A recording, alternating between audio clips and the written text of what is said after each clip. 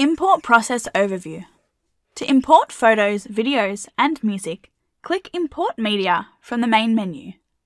LAMU can import from many different types of media storage sources.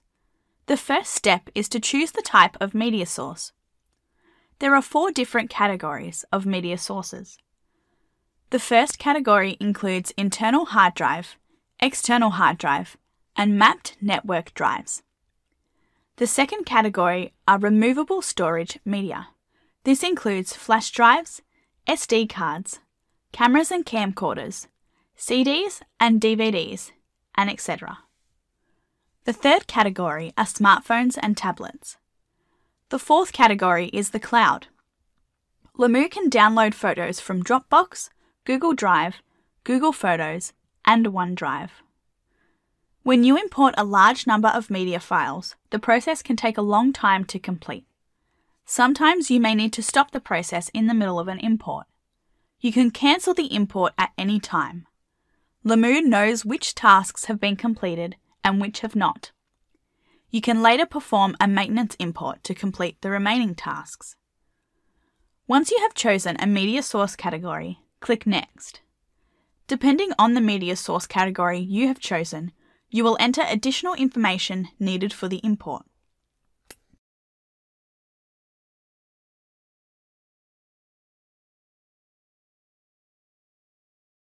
Enter the required information and click Next. The main import screen will be displayed. From the main import screen, you can choose the type of media to import. By default, LAMU will import photos, videos, and audio files. Click Start Import to begin the process. There are four steps in the import process. In step 1, media files are copied from the source location onto the LAMU drive.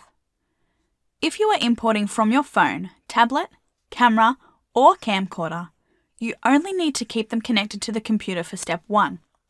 Once step 1 is complete, you can detach these devices from the computer. Once the files have been copied, LAMU can continue the remaining process without need for the original source devices.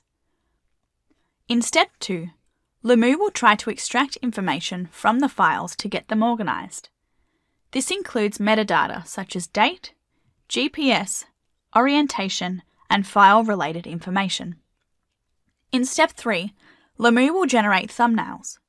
These are the thumbnails that you will see in Timeline and other views. Unless step 3 is completed, you will not be able to see the newly imported photos. Step 4 is face recognition. In this step, LAMU will go through each newly imported photo to find faces and group them together by people. This step is optional. LAMU keeps track of which photos have been processed for face recognition. If you choose to skip face recognition for an import session, LAMU can complete the face recognition for the skipped photos in the next import. Once the import completes, close the import window and the main application window will open. We will demonstrate importing from each of the source types in separate videos. One additional note here is that LAMU does not make any changes to the source when importing photos. All the photos and videos in the source will remain as is. LAMU only reads from the source and makes a copy of them into its own storage. It will not delete any of the source files.